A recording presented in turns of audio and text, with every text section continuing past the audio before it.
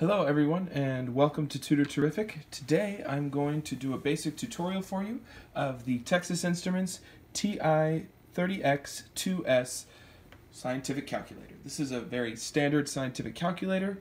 Um, it uses the equation operating system, which means you're going to plug in expressions and they're going to show up on the screen and then you press enter to evaluate them. You can contrast that with the algebraic operating system that you'll find on your cell phone calculators, for example which does one algebraic operation at a time and shows you the result after the operation is completed. Sometimes you place the number inside the calculator and then you press the operation afterwards. This is much different than that. We're going to get whole expressions out and we're going to press enter to evaluate them. Now this is a really good run-of-the-mill scientific calculator which works well for algebra classes or your integrated math 1 or math 2 course. Um, it's very uh, basic and has the basic uh, scientific functions that we need. And so I'm going to go through that with you and how the calculator works. So first, to turn the calculator on, of course, it's this button down here. When the calculator's on, you see the little uh, blinking rectangle. This is a liquid crystal display, of course, in the top left corner. You also see a little notation of a few settings. Um, DEG down here this represents that you are in degree mode, which I'll talk about in a second. And this arrow up here uh, refers to the memory of the calculator, which I will go through later. So let's test this calculator's order of operations. Let's make sure it knows to multiply before it adds, for example. Let's try 7 times 8 plus 3. Notice how it did not evaluate anything yet, but has written an expression based on my inputs on the screen.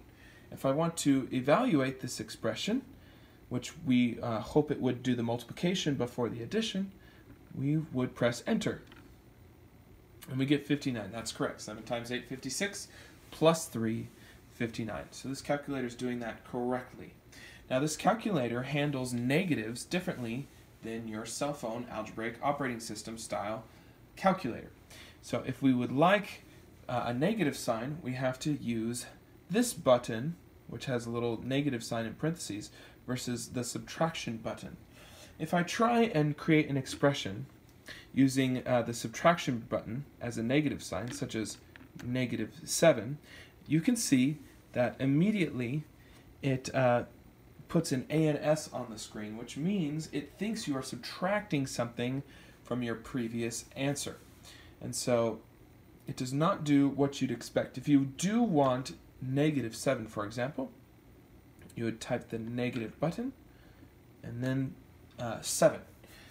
That will give you negative 7. So negative 7 times 8 plus 3, for example, if we want to do that calculation again, we should get negative 53. So these are how negatives are handled. Now to clear something from the screen, we would press the clear button, like this and it will revert back to the main screen. This calculator has a lot of features that allow you to edit your expression before you evaluate it. So let's say we type in negative 7 times 8 plus 3, and we want to edit our input expression. Well, you can easily do that with these left and right arrows. You can move across your expression to the left or to the right, and we can edit it. Let's say instead of a 7, I wanted to put a 9 here. Well, if I make sure the 7 is highlighted with the blinking cursor, I can overwrite anything with just pressing the, the uh, button for the value that I wanted there instead. So now I have negative 9 times 8 plus 3. Now let's say you didn't want to overwrite something, you wanted to insert something. So let's say I wanted this to be negative 8, not 8. In order to do that, you have to press second delete. Now, what does the second button do? The second button here is like a shift button. Now, it's hard to see, but there are little tiny expressions above the regular buttons on this calculator. And so it's like a whole nother set of buttons for all of these function buttons, the black buttons on the calculator and maybe some white ones like these down here.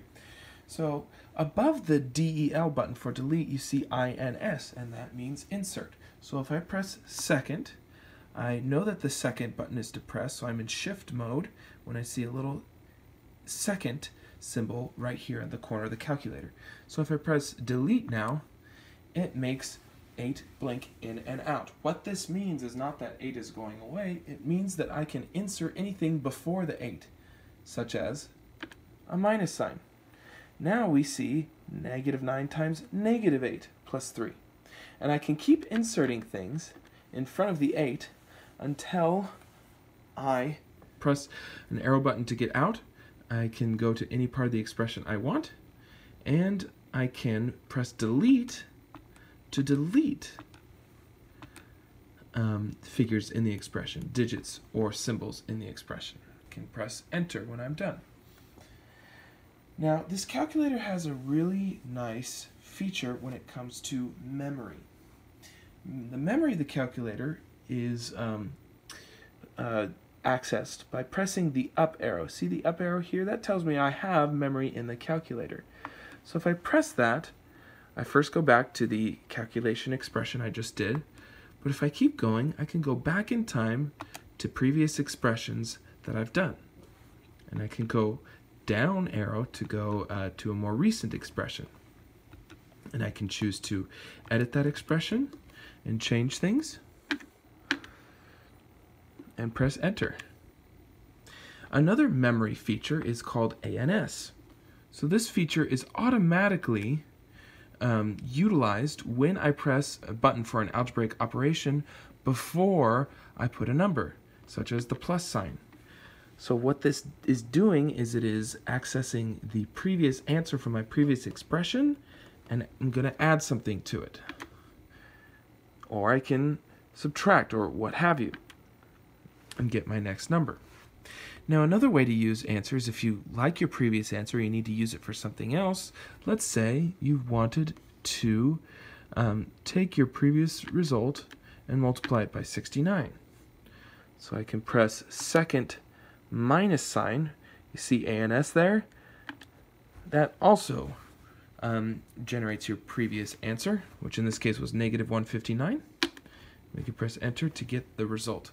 This calculator is quite powerful, can handle large numbers, but not as large as, for example, a graphing calculator. You can check my TI-83 Plus tutorial video to see a more powerful graphing calculator that can handle large numbers. But this is plenty powerful enough for an algebra class or like I said a math 1 or math 2 course.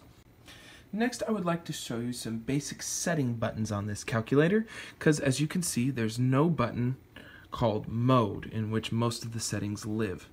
There is a setting button up here called DRG and this allows you to change how the calculator handles angles in degree mode or radian mode. These are different types of angles. And so normally we switch back and forth between degrees and radians, and this is used for the trig buttons like sine, cosine, and tangent, which I'll get to a little later.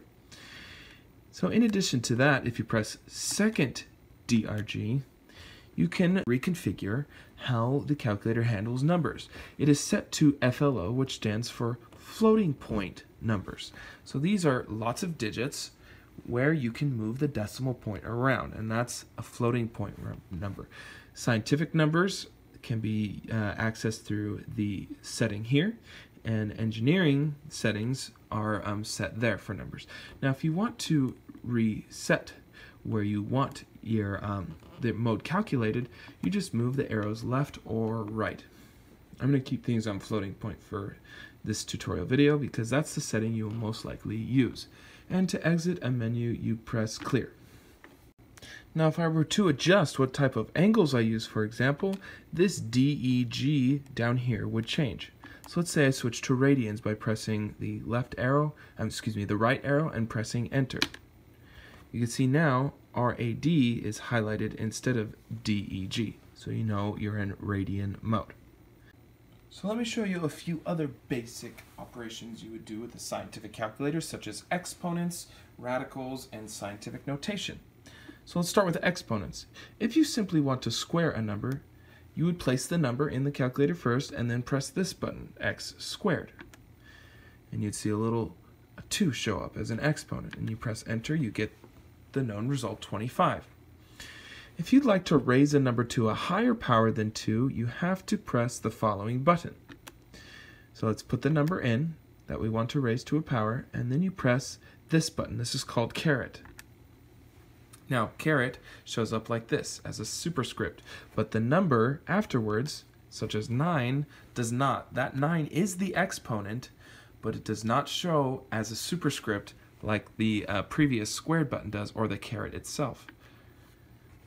As you can see, this calculator can handle quite large numbers. Now, if you'd like to do uh, a square root, there's a special shift button for that right above x squared. You can sort of faintly see the radical symbol there. So the correct way to do it is to press second x squared and then place what you want to take the square root of, like so. Now you see it has a parenthesis there. You can choose to um, close or not close that parenthesis if this is the last part of your expression. I recommend you get used to closing open parentheses because you find sometimes that you need to add more things afterwards. In this case, we're not going to do that. We're just going to press enter on the square root of 25. And we can see that it is 5. Now what if I want to take the cube root or the fourth root or any higher order root than the square root of a number? Well, I will have to press the second caret button. You see this symbol on top of that button. Now, this calculator requires you to put what degree root you want before you press that button. So as you can see, if I don't press anything, it is going to treat um, your previous answer as that degree, and we definitely don't want that. So what we're going to do is we're going to press, let's say we want the cube root of 8. We press the 3 for the cube root part, press second caret to get the cube root function, and then don't ask me why they don't put parentheses, but they don't. You can either choose to put one in, the parentheses right here, or leave it out. Since we're doing a simple number 8, we don't really need parentheses. So this will evaluate the cube root of 8, 2, as we would come to expect. Now, how do we do scientific notation with this calculator? Well, this is a neat scientific calculator. There's actually two ways to do it. The log button the uh, the the second shift feature of the log button, you can see a little 10 to the x power. So if we try that, let's do 5 times 10 to the 6. I'm going to put the 5, I'm going to put times, and then second log. Gives me this, which looks like 10 to the power of, and then we just place the 6 in there, and as I said, get in the habit of closing your parentheses. As you can see, it, pops out 5 million. There's another way to do scientific notation, however, and that is this x to the negative 1 button. The second feature of that is EE. Now, EE is shorthand for times 10 to the, which is really nice because it actually saves you time. So if I want to do 5 times 10 to the 6 with this set of buttons, I do 5, second, x negative 1. You see a little e there which means times 10 to the, and then I press the exponent I want for 10, 6. And I get 5 million again. So that's a little shorter way to do it, and that's what the E stands for, times 10 to the. Now let's check out some trigonometry functions on this calculator. As you can see, it has sine, cosine, and tangent. And above those buttons, you see inverse sine, inverse cosine, and inverse tangent. Now this is where your angle type matters. If you want to be in radian mode, we would have to press DRG and switch over to RAD. I'm going to leave that in degree mode right now. So what I'm going to do is I'm going to evaluate the sine of 45 degrees. I don't have to put the degree symbol, it already knows I'm in degrees. I'll close the parenthesis for good measure, and I will get this crazy decimal, like I'd expect. So that's the sine of 45 degrees. Now, I can do inverse trig functions by pressing second and then the trig button. So now I can calculate the inverse sine of something. How about 8 over 10? Remember, for inverse trig functions, we are plugging in ratios of sides and getting angles out. So when I'm in degree mode, it will give me the angle that should be the inverse sine of this value in degrees, which is 53 degrees. Now, if I switch to radian mode, like so, and I evaluate the same expression, I will get something completely different because now I'm getting the same angle in radians rather than degrees. Now, what if you wanted to do a reciprocal trig function, like cosecant, for example, which is the reciprocal of sine? That's not the same thing as inverse sine. It's a reciprocal trig function. You would have to do the following. 1 divided by sine. For example, 45 degrees. Actually, 45 radians. If you realize you're in the wrong mode, even in the middle of an expression being created, you can go to DRG button and switch to your proper mode. So this will evaluate the cosecant of 45 degrees in this calculator. Now, there is a special button here, which I neglected to discuss when we were discussing exponents, and that's the x negative 1 button. That will evaluate the reciprocal of your expression. For example, 6 to the negative 1 should give us the equivalent of 1 over 6 and that's what this decimal is. Now, we know that these sixes go on forever for one sixth, but you can see the calculator has rounded because even though it's a floating point, uh, it's on the floating point setting for numbers, it doesn't have an infinite number of digits. As you can see, it has 1, 2, 3, 4, 5, 6, 7, 8, 9, 10 digits to work with by default.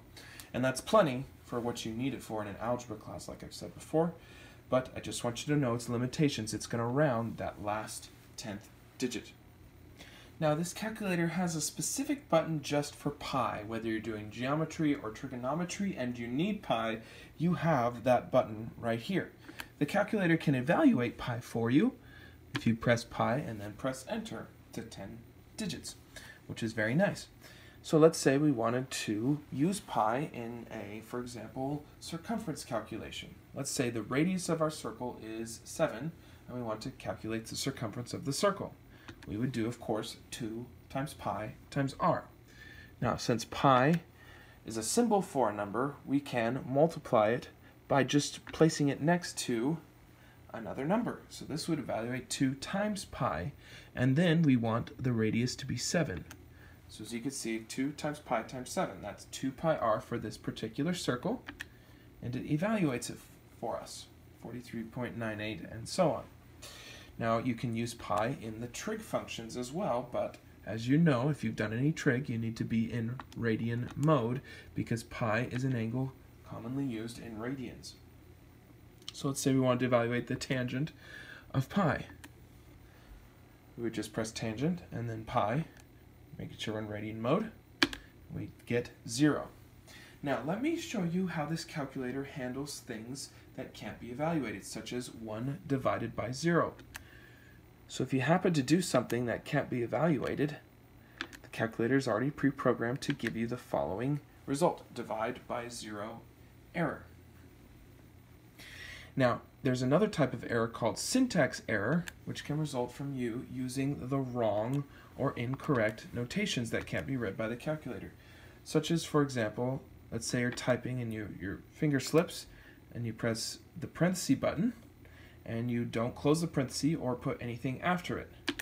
You get a syntax error. Now, if you want to figure out what happened, you just press clear on there and it will take you to the expression and you can find your error and fix it. Of course, it's showing you that you need something inside that parenthesis. Let's say instead we did 5 times 6 and then we closed the parenthesis but forgot to open it. Of course we will get another syntax error. If we press clear, it'll take us directly to that spot where there is an error. And we can of course say, oh yes, I didn't open that parenthesis, but I don't need it in this case. So I'll just delete it. And then it will evaluate what we're trying to evaluate there. Alright guys, that's a basic intro look into this calculator. There's plenty more features the calculator has, but those will be for another time as they're more advanced. So thanks you guys for watching. This is Falconator, signing out.